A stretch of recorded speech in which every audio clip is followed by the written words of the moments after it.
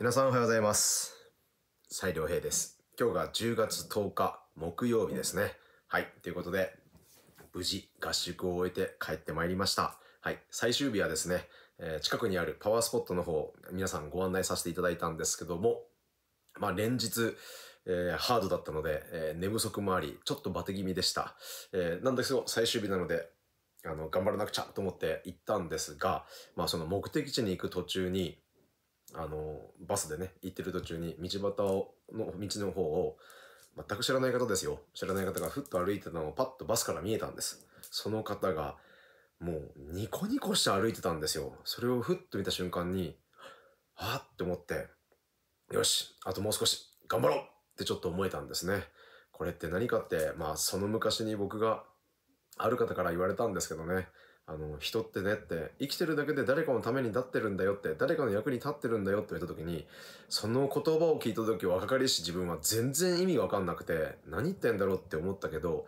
まあ今ぐらいになってきてだんだんやっぱ分かってきましたね。そうですね。生きてるだけでって、あの人の笑顔を見るだけでなんか元気になっちゃったってのがあって、よしっていうことでしっかりと合宿も乗り切ってまいりましたっていうことですね。はい。ということで今日は、まあ、10月20日から秋の土曜がやってきます。はい。土曜の期間っていうのは季節の変わり目です。この季節の変わり目になってくると、気温、気圧の変化が激しくなってくることによって、体調不良や、まあ、メンタルがちょっと、えー崩れ気味になっていたりっていうことがあったりするんですね。なので、今から前もって対策をしておきましょうってことを言ってたんですけども、まあ、土曜の期間中に体調を崩すって言ってやっぱり多いです。あとは土曜が明けた後もガタガタガタって崩れたりする人があったりするので、この期間中に一回体調を崩すとずーっと長引くっていうパターンもありますので、絶対注意してほしいなと思うんですが、その対策としては、昨日ですね、あの、手を扱うお仕事だとは手でで受ける。まあ、お仕事でもあるんですけども、何にしても手で受けるってこともあったりします。まあ、愚痴っぽい人の話を聞いてて、ちょっと疲れたって感じたりするのもそうですし、病んでるな、疲れてるなっていう方たちの体を触ったりとか、特に利用師さん、美容師さんが頭を触ったりするのも、頭にもそういう気が溜まりやすいんですね。だから、まあ、手を扱う、手を使う、手で人を触れる仕事をやられる方っていうのは、あの、お塩を使って軽く手を洗うっていう習慣を持っておくと、あの、受けにくくなりますよっていうことです。で、あとはお風呂に浸かるときにお塩を入れて、あの、汗をかくっていうのも重要です。あの、ソルトバスもいいとは思うんですけども、まあ、要は受けてるもの自体をあの外に出すってことなので、汗をかくのが本当におすすめなんですね。まあ、そのためにはやっぱりおすすめなの、いいのは、うん、運動がやっぱりいいと思います。なかなか時間がない方たちは、えー半身浴でお風呂にゆっくり使って、その時にお塩があればお塩も一緒に入れるっていうこともあるんですが、コメント欄の方に、あの、ご家族とかね、みんな手を、人を触ったり扱ったりするっていう仕事だったりするけど大丈夫なんだろうかってあったんですけども、もともと免疫が強い人結構います。はい。あの、受けにくい人たちですね。で、逆に、あの、なんだろう、繊細さんって言いますかね。あの、触ることによってやっぱ受けやすい。こういう方って結構あの、ヒーリあのヒーリングの力があったりするっていう、あのその、吸い取って治してあげるってなるけど、自分が受けちゃうとか言ったりするんですが、まあ、繊細な方たちは、あの、触ったりすることによって結構人のネガティブな感情を受けて自分まで病んじゃう場合があったりするから、さっきほど言ったみたいに手を洗うときにお塩を使ったりとか、ね、お塩を使って頭を洗ったりとか、お風呂に浸かるときに、あの、お塩を入れてゆっくり浸かるとかいう習慣もぜひともお試しくださいっていうことだったんですが、まあ、今日の話はですね、もうなお、これ重要なのが、ここをしっかりと整えておかないと、運まで悪くなるよ。心も病んだりするしっていうことだったりするんですが、それが何かというと、腸の状態ですね。腸の調子をしっかりと整えておかないと、本当に運は悪くなります。健康が崩れることはもちろんですし、頭の回転も鈍くなるし、体調も崩れるし、心まで病んじゃうってところで、腸をしっかりと整えることがとっても重要ですよっていうことなんですが、まあ今日僕ね、始まりのタイミングで、腸腸腸、いい感じ、腸腸腸腸って入ろうと思ったんですけども、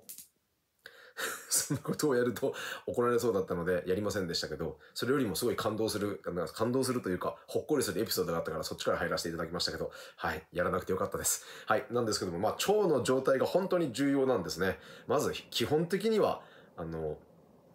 消化にいいものを食べることもそう、まあ消化にいいものというよりかよく噛んで食べることですね。で、冷たいものをガブガブ飲まないってこともそうです。で、まあそんなんもあったりするんですが、僕は、えっと、合宿前ぐらいに一回ちょっとお腹の調子を崩してたんですね。で、なんか悪い習慣もお酒もそんな飲まなくなったし、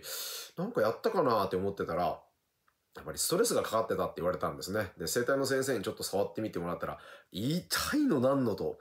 腸を触るんですよ。指でグッグッグッって言った時に、あの、血がなんか滞ってる場所があるってことを言われて、痛いな、痛いなって言ってたら、言われましたね。体に、の関心を持った上でちゃんと見てあげればこんなことにはならなかったから、ならなかったんですよと。ね。あなたが体に対してちゃんと関心を持ってあげられなかった分の体の声ですって言われたから、わかりましたって黙ってやりましたけども、こういう時期に、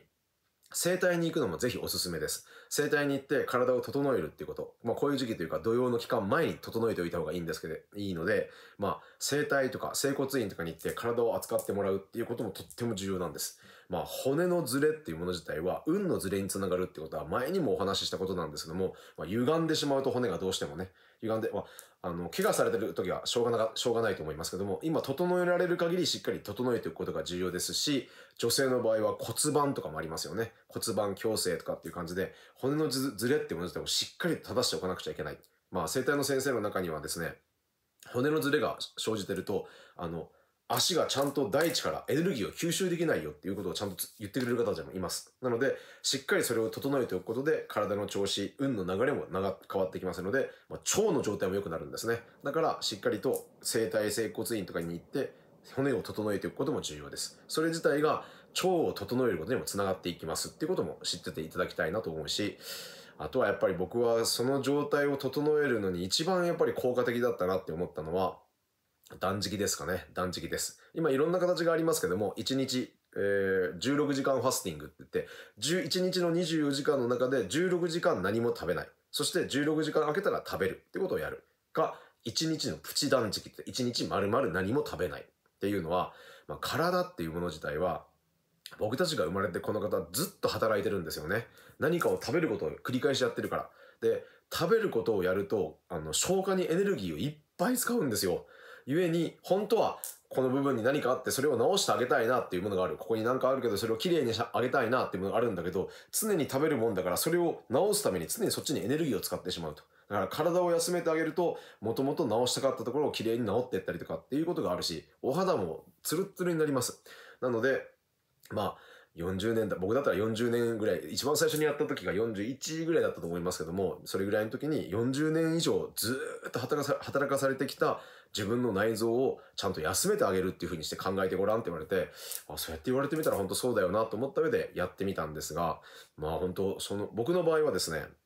3日間和食を食べるっていう、あの、油物とか肉とか、あとは小麦粉とか、そういったもの自体もなしっていうことで、和食、基本和食の食事を3日間やって、そこから5日間、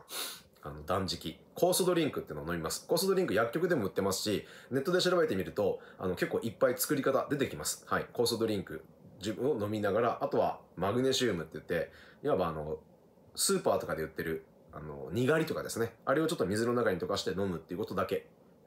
マグネシウムの水と、あとは基本は酵素ドリンクを飲んで5日間食べずに過ごすってことをさせていただいたことなんですけども、今も定期的にやるんですけどね、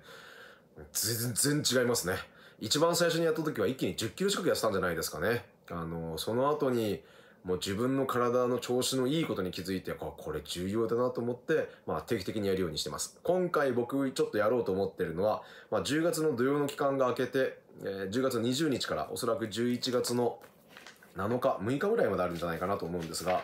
11月の7日、6日までありますね。で、7日から開けるんですが、土曜が明けたらちょっと僕はファスティング入ってみようかなと思ってますね。そう言って体の調子を整えていくし、内臓一つ一つにちゃんと魂が宿ってるってうちの師匠が言ってました。それぞれ意志があるんだよって。どれだけ食べたくても胃が受け付けられなくて食べられない人もいるでしょ。お酒飲みたくても肝臓が悪くなって飲めなくなる人もいるでしょって言った時に、体の全てがちゃんと意志を持ってる。そこに対して私たちが関心を持つことは愛です。そして関心を持つ。それことを知れたら、ちゃんと休めてあげようと思ったら、ファスティングっていうもの自体、断食するってこと自体もおすすめですよっていうことをやってみて僕自身もすごく良かったので、ぜひとも皆さん、あの、やってみてください。あの、いろんな方法ありますので、ネットで調べてみて、自分に合った方法がいろいろあると思うので、探してみるのもいいと思いますし、まあ、ここをしっかりと整えておくことで、心とか体の調子、もちろんそして運にもつながっていくってことを知っていただければなと思った上で、今日はこの話をさせていただきましたっていうことです。はい。明日はまたなんか違う話しましょうかね。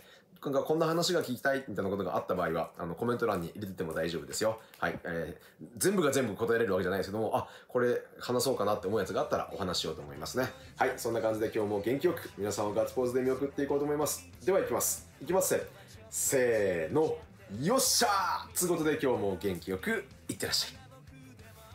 お気をつけて。